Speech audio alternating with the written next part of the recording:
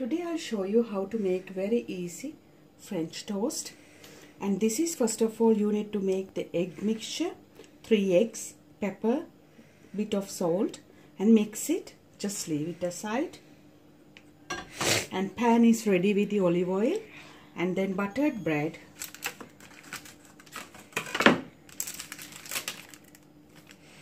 Add few pieces of ham just same as like making sandwich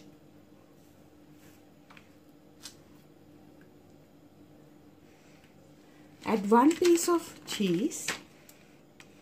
This is cheese and ham french toast.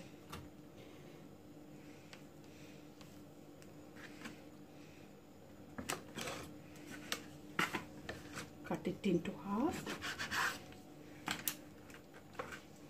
Dip it in the egg wash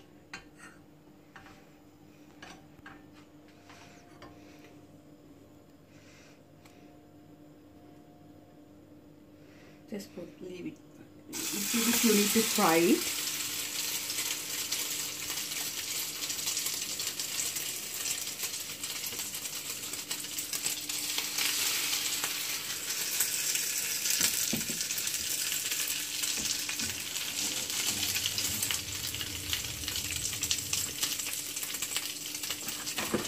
fry the both sides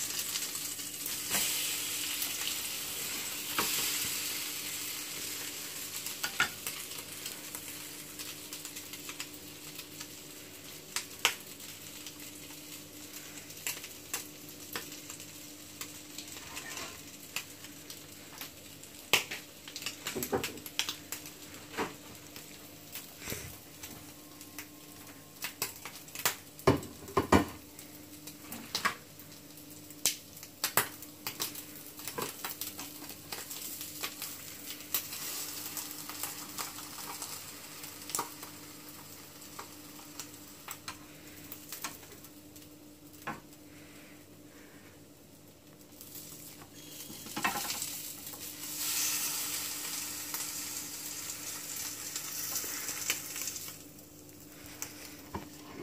ready to eat. Quick French toast, ham and cheese filling. It's very tasty. Thank you for watching.